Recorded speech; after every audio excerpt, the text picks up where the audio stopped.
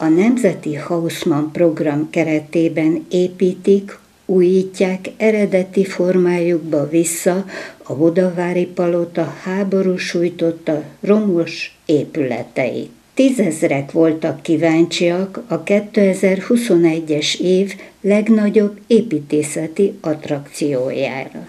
Ezért mi is felkerekedtünk és elmentünk a Budai várba, hogy láthassuk azt, amit annak idején Ferenc József is láthatott. A Szent István terem megnézésére az oroszlános kapun át vezet az út. A látogatót a Szent Korona hű másolata fogadja, és az a rossz hír, hogy csak kézből szabad videózni.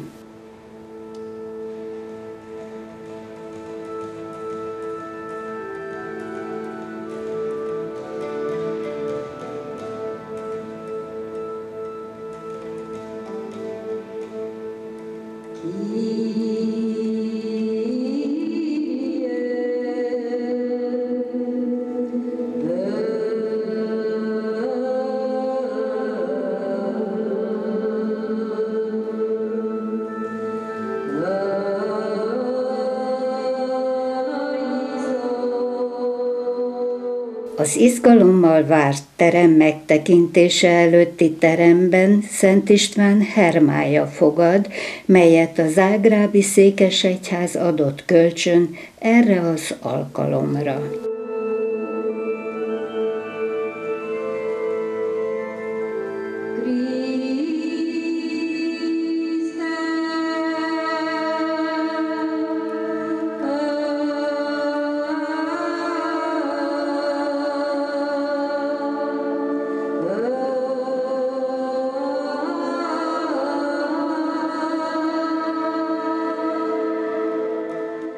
Szent István által veretett ezüstpénz az ország első pénze volt.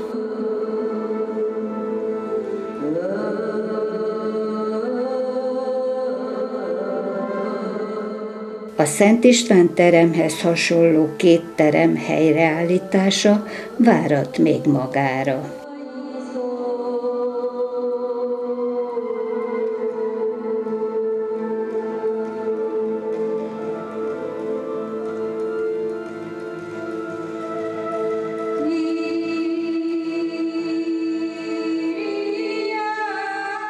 Hallgattői Sámuel képzőművész kifejezetten erre a helyszínre alkotta meg azt a tíz kapura épülő installációt, amely Szent István király fia Imre herceghez írt intelmeinek csak nem ezer éves szövegén alapul. Régen a templomok bejárati kapuját kegyelem kapujának hívták. Erre való emlékeztetésként kapukra írták ki most a Szent Istváni intelmeket.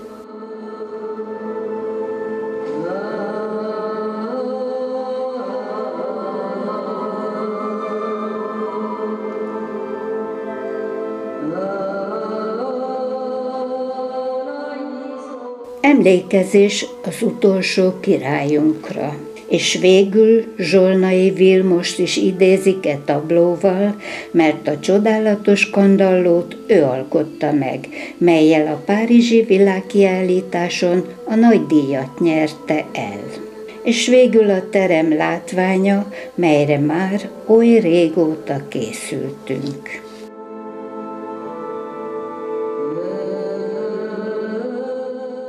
Angyal Tibor foglalkozott a második világháború után megsemmisített történelmi díszterem újraalkotásával. Teljes történeti hűséggel újult meg a budavári palota Szent István terme, amely egykor a palota egyik legdíszesebb helyiségének számított.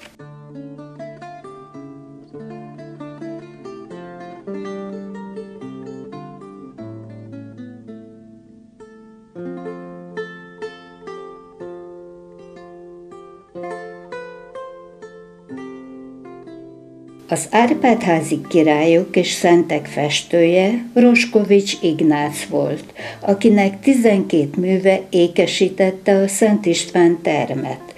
Az elkészült 12 festménye alapján a Zsolnai gyárban pirogránit kerámia képek készültek az alkotások, amelyek közül tíz a legfontosabb Árpádházi királyainkat és szentjeinket, kettő pedig Szent István életének egy-egy jelenetét ábrázolja. Most ezeket nézzük meg.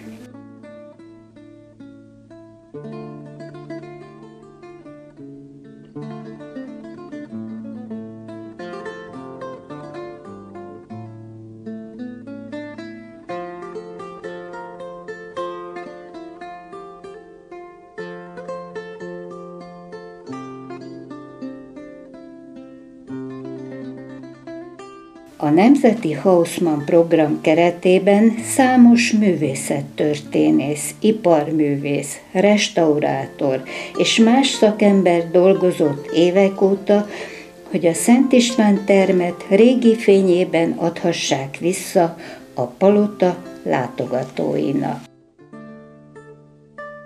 A bútorok újraalkotásában azok az előkerült fotók segítettek a legtöbbet, amelyek nem az interiőrben készültek, hanem egyesével ábrázolják a székeket, asztalokat.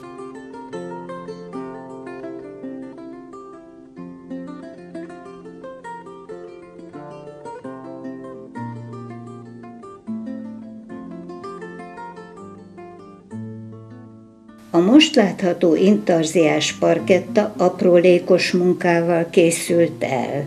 Az eredeti parkettát a Neuschloss fivérek készítették.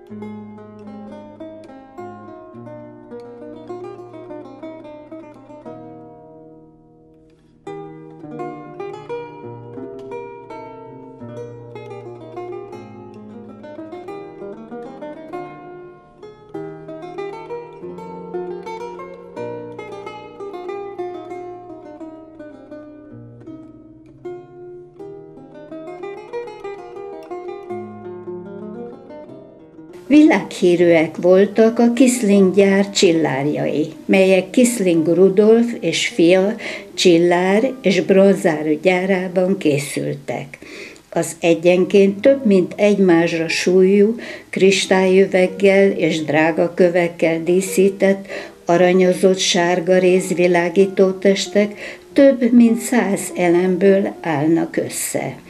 A mostani kivitelezést a Salisbury Kft. munkatársai készítették, a bronzmunkák előállításán nyolc öntőmester dolgozott, a három csillár díszítő elemeit Takács József ötvös mester készítette el. A kandallóval szemben nagyméretű tükröt helyeztek el, és ezzel elérték, hogy a mindössze 72 négyzetméteres terem jóval nagyobbnak tűnjön, és emellett lényegében megkettőzte a kandallót, hiszen aki hátat fordított neki, az is láthatta a tükörben.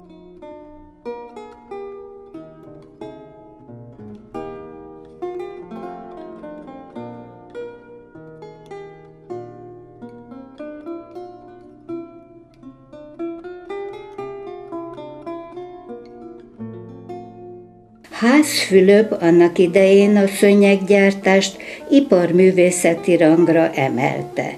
Cége készítette egyebek mellett a Budavári Palota Szent István termének díszes falikárpitját is. Ez tökéletes másolata az eredetinek.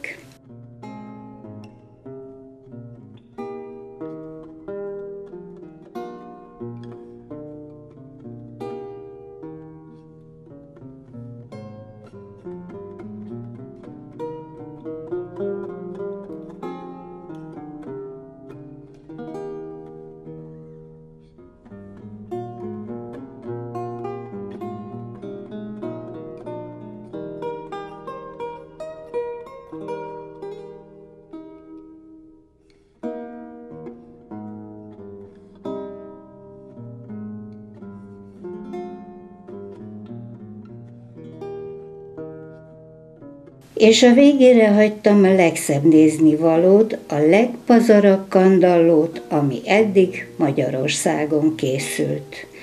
Az igényesen megtervezett és kivitelezett zsolnai majolikából készült iparművészeti remekmű elkészítését Zsolnai Vilmos még megérhette, de a beszerelését már nem felügyelhette. Nem sokkal korábban elhunyt.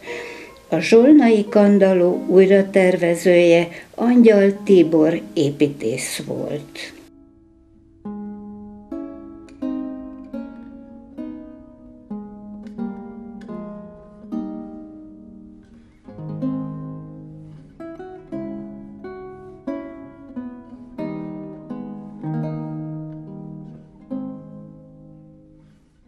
Kandalló tetején lévő Szent István melszobor is újjászületett. Az eredetit Strobl Alajos készítette.